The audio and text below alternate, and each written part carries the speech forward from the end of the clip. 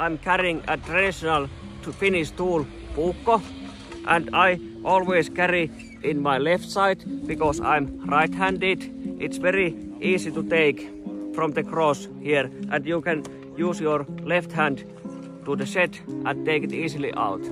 It's always ready. I think when the people have using these hundreds of years. Some people think that's a weapon, not a tool, but I have always said that's a tool. And I'm teaching that to my students, that's a tool, not a weapon. Never, never use it against people, only for doing things. And that's like gunpowder.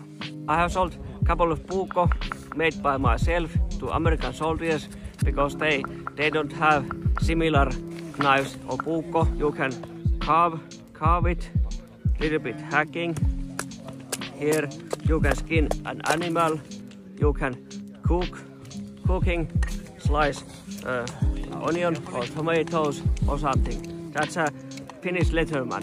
You can do everything with the puukko.